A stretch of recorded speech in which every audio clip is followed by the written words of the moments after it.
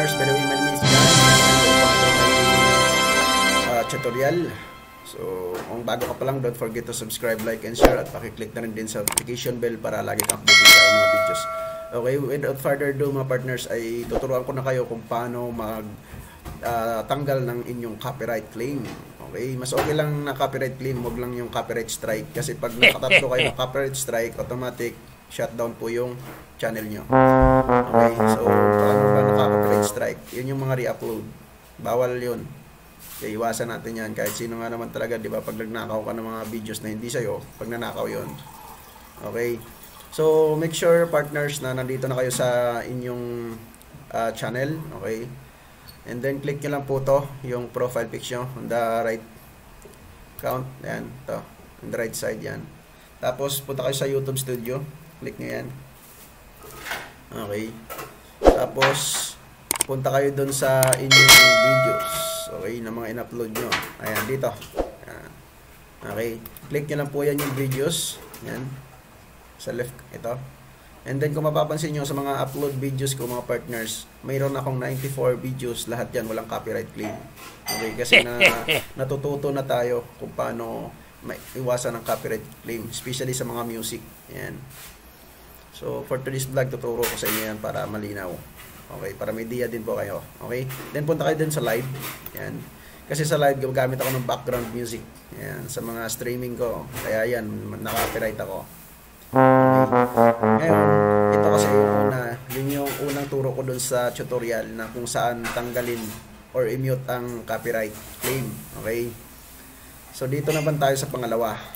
Okay, click nyo lang po yung copyright claim, then details. Yan. Makikita nyo yan kung ano, kung sino yung owner na nag, ano dyan, nag-claim mismo ng sound mo, ng music na ginamit mo. Siyempre, nandito nakikita si Marikit Dan Magic. Yan Shout out sa partner. So actually si YouTube yan ang nag ano eh uh, breakdown nito. Hindi naman yan si Dan Magic. Okay, matik yan pag once na mga kilalang mga music ano yung kagad yan, madidetect kagad ng algorithm yan. Then select niya po yung action. Ayan, tapos dispute. Okay. So dispute lang natin. So napapansin niyo naman mga partners, marami dito mga valid reason na pwede yung ano, uh, mababasa. Okay. So, lahat yan, yung tatlo na yan, uh, check lang natin yung box. So, maintindihan nyo naman yan, di ba? On copy song video, not making money for video, I give credit to the copyright owner. Okay? And then, check nyo lang po yan, then continue. Okay? And then, kung, napapansin nyo, may apat dito. Okay, na main reason bakit may di-dispute. Okay, so dito na lang tayo sa uh, fair use. Yan. Dito lang tayo. Click nyo yan, yung fair use. And then, copy nyo lang po yan. Okay, bago kayo mag-proceed ha, bago kayo mag-continue. Kasi yan din ang ilalagay yung reason doon. Okay, then continue yan. Tapos, ayan, so ang fair use, ayan, ma, basahin nyo na lang, intindihin nyo na lang siya. Okay, para mapabilis tayo, baka mamaya i-skip mo pa. Okay, and then, check nyo lang po yung box, then continue. Ayan. So sabi niya diyan, uh, anong purpose na bakit mo ginamit? Okay. So background music lang. Okay. Background music lang. And then yung kinopya natin kanina, dito niyo 'yon ipi-paste. Okay. Yan. Yan yung ipi-paste. Then check niyo lang to lahat, yung tatlo. Okay. Mga partners take note pag kinlim ng may-ari 'yon. Okay. Pag kinlim ng may-ari 'yon, ano yon uh, ah, tawag dito, mapupunta sa kanya. Pero kung hindi niya naman, yung katulad yan, pag na-monetize ka na, mapupunta sa mayari yon yung ano na yon Tapos, take note partners, dapat tama to. Lalagay niyo yung signature. Okay. So, tayo ay June Quezon. Yan. Okay. So, then, submit nyo lang siya. At hintayin nyo lang ng ilang araw yan. Or may buwan. Okay. Then, submit. Okay. Ganun lang sa simple. Okay.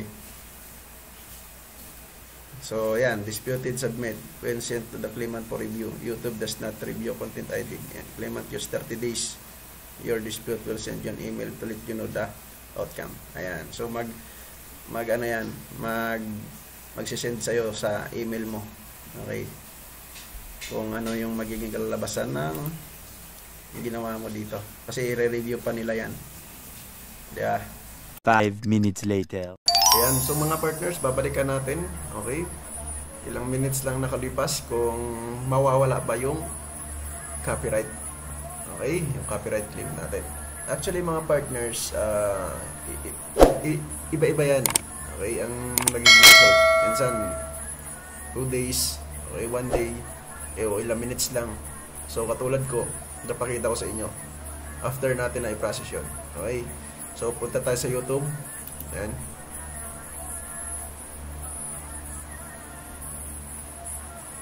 Tapos, sa profile picture, okay, sa bandang kanan, click nyo lang yan. Then, YouTube Studio. Then, So, kung napapansin nyo mga partners, sa live tayo pupunta, no? Excuse me. So, tapos dito sa message, ah, sa videos, okay, click nyo yung videos. Ayan. So dito wala problema dito sa mga upload videos natin. Okay. So nag ano na nag nag-ayos tayo dun sa live. Okay, sa streaming ko. Okay. So check natin. Ayan guys, ah, nakikita niyo, 'di ba? So ganun lang siya kasimple. Okay, may 3 option lagi yung tatandaan, 3 option 'yan. Okay. So wala na, 'di ba? Wala na yung copyright claim. So ganun lang siya kadali. At the same time, lagi kong sinasabi sa inyo, huwag nyong i-delete yung video na yon kasi sayang naman yung watch hours na pumasok. Okay? So, kailangan nyo lang gawin, ipili kayo dun kanina sa reason, no? Na merong mute, replace song, diba? Or mute all song. Yeah. At yung pinakauli yung dispute. So, yun yung ginawa natin, yung dispute. Kaya, yun. Uh, bilis nyo lang mag-approve Actually, more on this, karamihan. Okay. So, yun lang. Maraming salamat. Hello guys, welcome back to my YouTube channel. By the way, my name is Jared. God bless everyone and see you on time.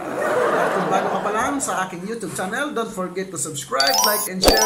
At pakiclick na rin din sa notification bell para lagi kang updated sa aking mga video. I am the one, the way you turn down Partner, baka nakalimutan mo, subscribe ka muna. Gawin mo muna to.